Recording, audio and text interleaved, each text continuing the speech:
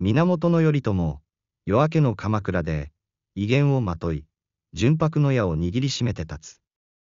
朝日が照らし出す桜の木々が彼を取り囲む。風が静かに、彼の着物を優しく揺らす。彼の脇には、頼朝の妻であり、理解者である北条政子が立つ。彼女の瞳は夫を見つめ、その決意を静かに共有する。政子の存在が頼朝を支え、彼の力を倍増させる。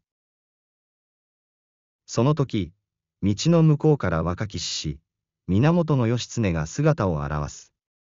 彼の眼差しは剣のように鋭く、同時に兄の存在を尊敬と憧れで見つめている。義経の目に映るのは、力と優雅さを兼ね備えた兄と、強くしなやかな政子の姿。鎌倉の朝、激動の時代の中で、彼らはそれぞれの道を見つめている。祭りのよう、乱れ動く波に揉まれながらも、彼らは揺るがない。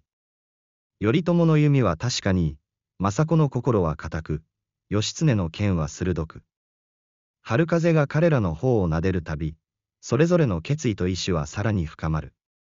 源氏の者たち、彼らの人生は、桜のように一瞬で花開くものであると同時に、強く、不動のものである。ご視聴ありがとうございました。